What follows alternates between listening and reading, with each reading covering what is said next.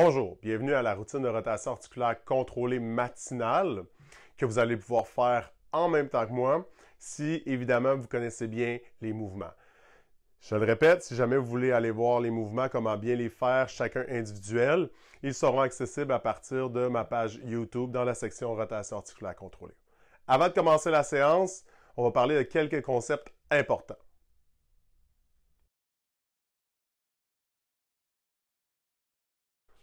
Donc, la loi d'irradiation Sherrington et aussi comment respirer. La loi d'irradiation est une loi qui indique que lorsque des tissus doivent euh, contracter, être forts, ça envoie un signal aux tissus avoisinants pour recruter encore plus de force pour être en mesure d'en produire encore plus. Si on prend l'exemple d'un point, si vous gardez le coude fléchi 90 degrés, vous faites un point, vous allez sentir, oui, les muscles de la main, l'avant-bras, biceps, épaules, pectoraux qui se contractent. Donc, un recrutement qui envoie un signal à d'autres muscles pour aider à être encore plus efficace et plus fort dans ce mouvement-là. Et c'est ce qu'on essaie d'intégrer lorsqu'on fait des, dans les rotations articulaires contrôlées afin d'isoler une articulation et lui envoyer le maximum de signal pour l'isoler et la travailler de façon spécifique.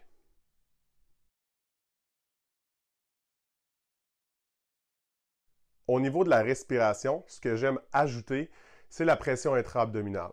Ça vient vraiment avec la pratique et je vais faire des différentes capsules pour parler de comment avoir cette pression intra-abdominale et également vous faire revoir un peu votre euh, notion de qu'est-ce qu'est un gainage et comment avoir un gainage spécifique à nos activités de tous les jours.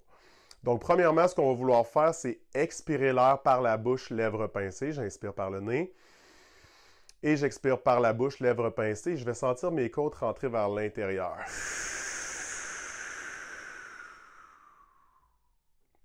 Et c'est ce qu'on appelle la pression intra-abdominale qui vient recruter les muscles du gainage. Donc, on parle ici diaphragme, transverse, les muscles du plancher pelvien et même les multifides lombaires.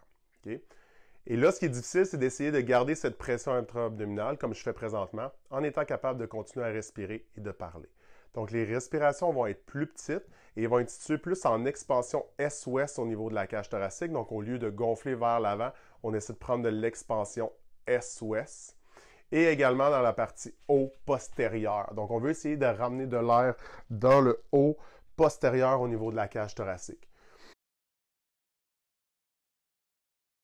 Point important avant de commencer à faire la routine, ce qui est très important de comprendre, c'est les douleurs à la fermeture d'un angle. Ou douleurs ou même sensation à la fermeture d'un angle qui n'est pas censé être là. Donc lorsque vous faites euh, un mouvement, ce qui est censé vous empêcher d'agrandir l'amplitude, c'est les tissus qui s'étirent. Donc, si je prends l'épaule, par exemple, si je fais ma flexion au niveau de l'épaule, ce qui est censé m'empêcher d'aller plus haut, c'est une restriction que je sens au niveau des, tissus, des tissus qui s'allongent. Si la restriction, donc pendant que je fais ma flexion, ce que je sens qui m'empêche d'aller plus haut, c'est un problème à l'avant. Donc, si vous voyez ici l'angle, si je prends mon angle ici, donc, l'angle qui ferme, s'il y a une douleur dans la région de l'angle qui ferme et non pas l'angle qui s'allonge, on reste en dehors de cette zone-là. C'est très important. Ça peut être plusieurs choses. Ça peut quand même être pas si grave que ça. En fait, c'est souvent le cas. Souvent, c'est un manque d'espace de travail. Mais si jamais vous avez une sensation d'une douleur à la fermeture d'un angle, que ce soit n'importe quelle articulation, je vous invite à consulter un professionnel de la santé en qui vous avez confiance pour adresser la situation et la résoudre pour vous permettre justement d'avoir une bonne santé articulaire et de pouvoir faire les mouvements que vous désirez. Pour commencer avec le coup pour la loi de l'irradiation, il y a plusieurs façons de le faire, mais je vous montre comment moi je le fais. Donc, on essaie de séparer le sol, comme si j'essaie de déchirer le tapis avec mes pieds. Ça vient activer le bas du corps. Je vais venir verrouiller les coudes.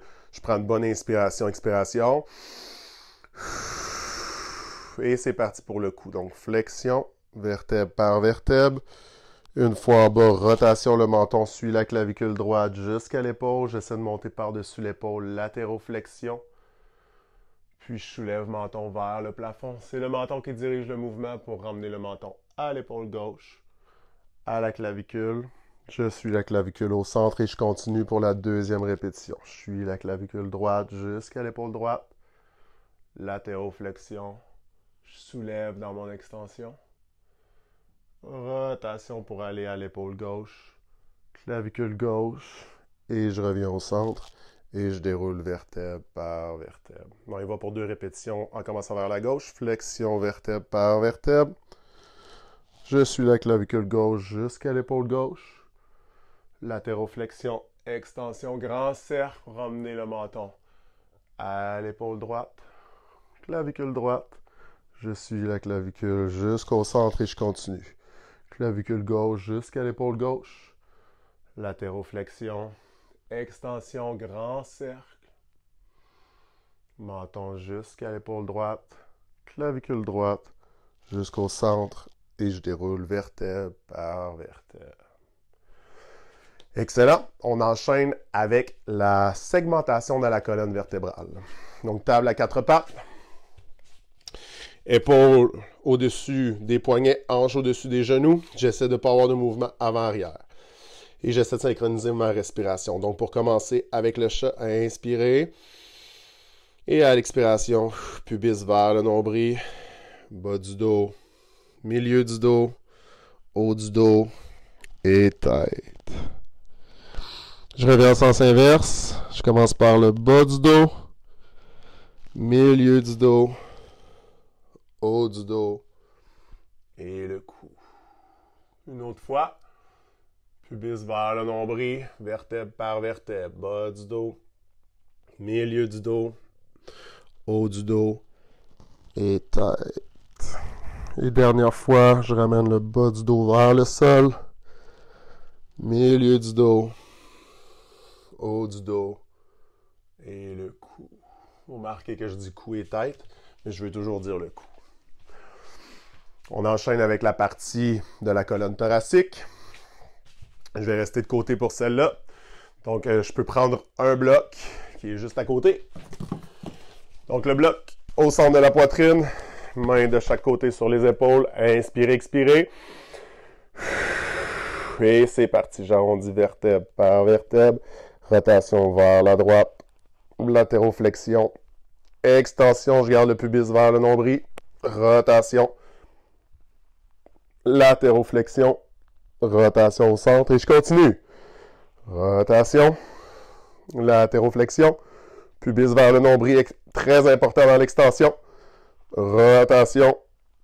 Latéroflexion. Rotation. Et je déroule.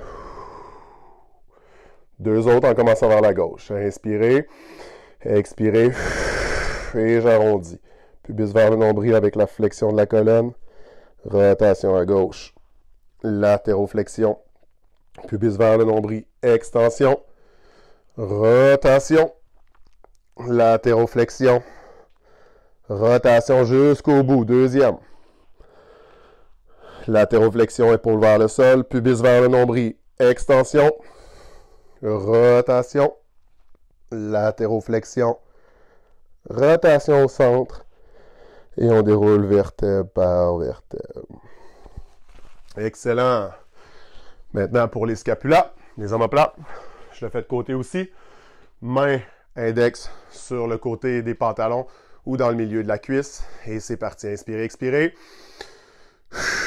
J'essaie de déchirer le sol avec les pieds. Seulement les scapulas vers l'avant haut, arrière, bas, avant, haut, arrière et bas.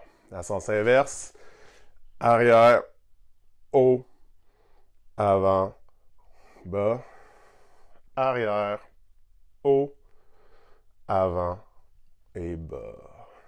Excellent. On y va avec les épaules. Je les fais à genoux. Vous pouvez les faire debout. Moi, c'est par rapport à l'espace. Commence avec le côté droit. Rotation externe et c'est parti. Inspirez, expirez. Coude verrouillé à gauche. J'essaie un peu de déchirer le sol cette fois avec mes genoux au lieu de mes pieds. Et je coupe au centre. Adduction. Flexion biceps vers le nez. Vers l'oreille.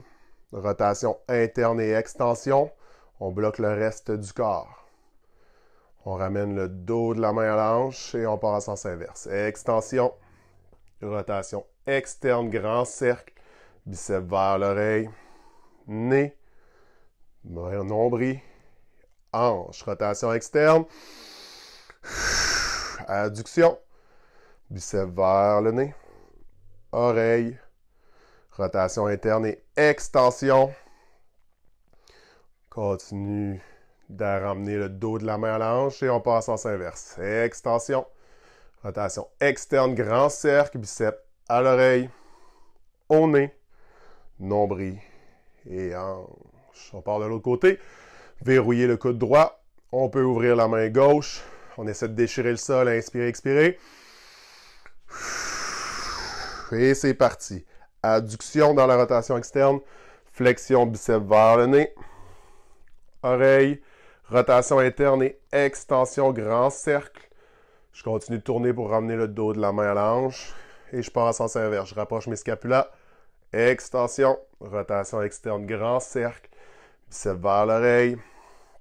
Nez. Nombril. Hanche. Deuxième. Adduction en rotation externe. Flexion. Biceps vers le nez. Oreille. Rotation interne et extension grand cercle. Je ramène le dos de la main à la hanche et je pars à sens inverse. Extension. Rotation externe grand cercle. Biceps oreille. Nez. Nombril et hanche. Excellent. On y va avec les coudes.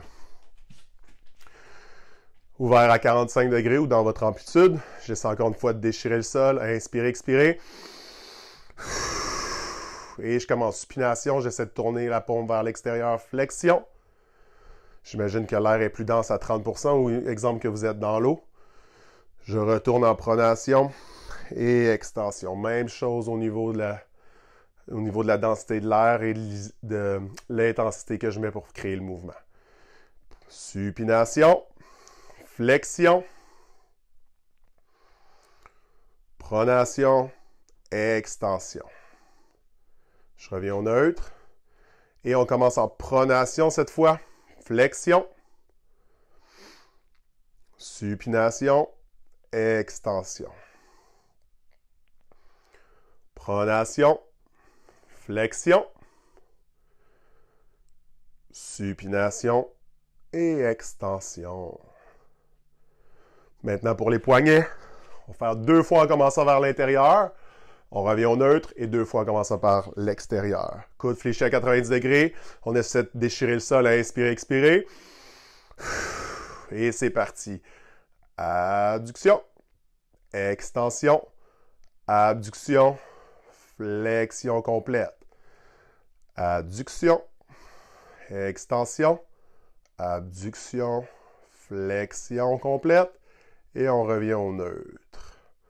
On commence de l'autre côté. Abduction vers l'extérieur, extension, adduction, flexion complète, vers l'extérieur, vers le bas, vers le centre et flexion complète.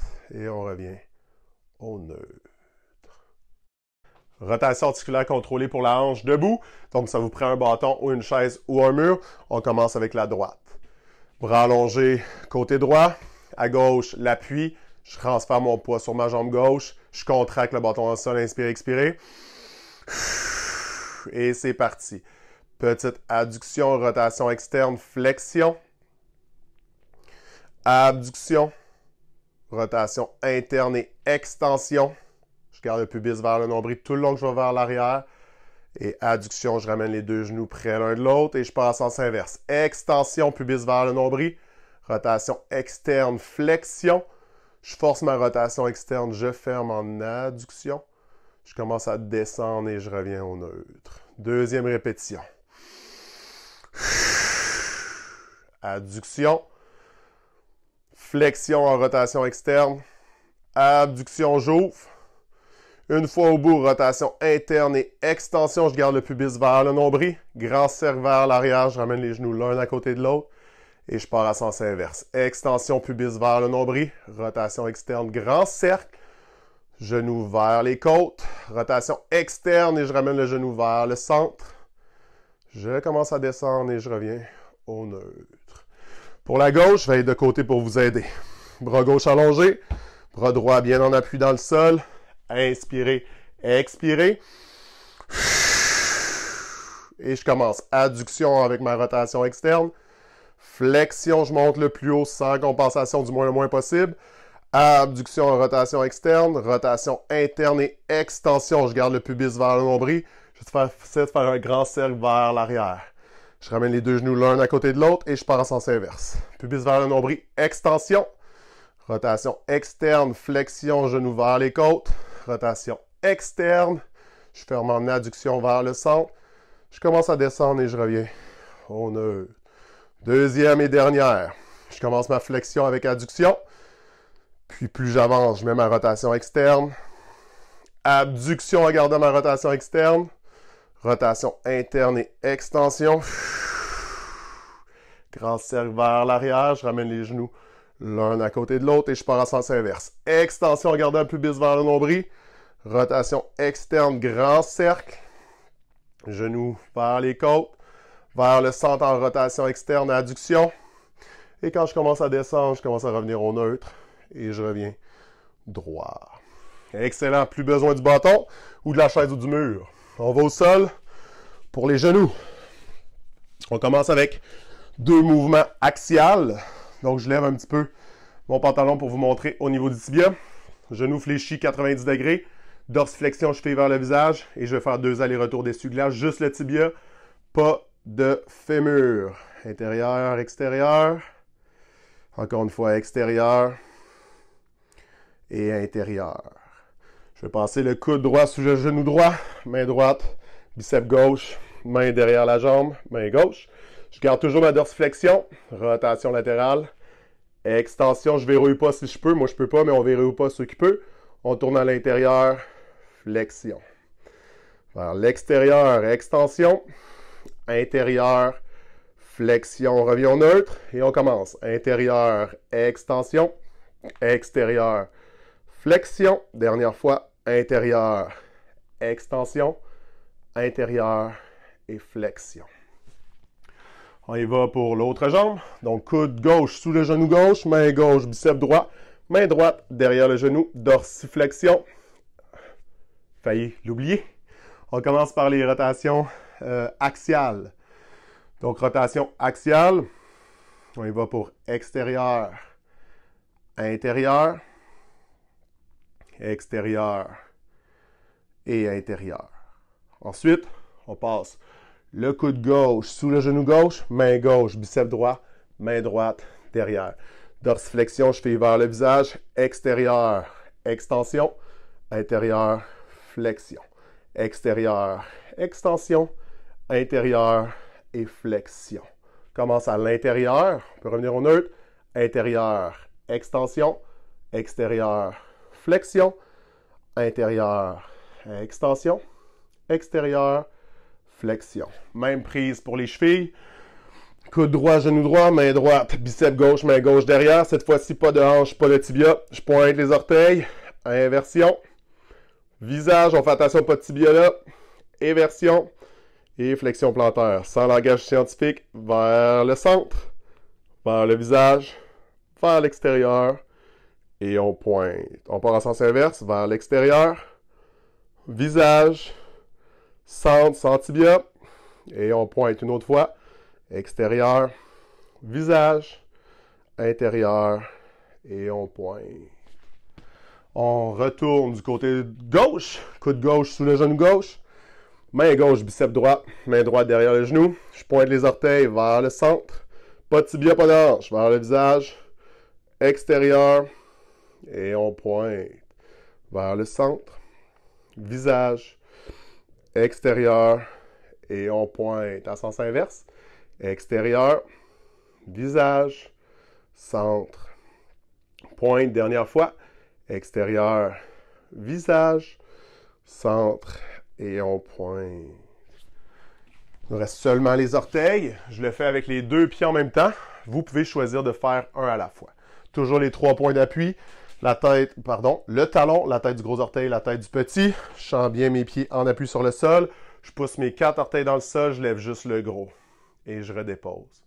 Trois fois. Je lève le gros, redépose. Je lève le gros et je redépose. Maintenant, je pousse le gros, je lève les quatre, je fais attention pour pas que mes pieds rentrent vers l'intérieur et je redépose. Je lève, dépose, je lève et je dépose. Maintenant, je lève les cinq, seulement le gros.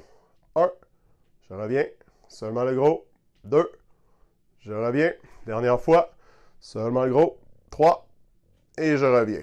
Et maintenant, je lève les cinq, j'essaie de les séparer fort et je descends du petit un par un au gros et je remonte du gros un par un jusqu'au petit. Dernière fois, petit un par un jusqu'au gros et je remonte du gros jusqu'au petit et je redépose. Donc, ceci constitue ma routine du matin. Quand je dis ma routine, c'est la routine du Functional Range System, c'est celle que je fais. Donc, comme je vous dis, c'est une routine que vous pouvez suivre en même temps. J'espère que vous avez apprécié. Questions, commentaires, n'hésitez pas. évidemment, si vous avez des questions sur comment bien effectuer l'une de ces rotations, vous pouvez aller dans la section sur ma page YouTube où je décris chacune d'entre elles, comment bien l'effectuer. Merci et à bientôt.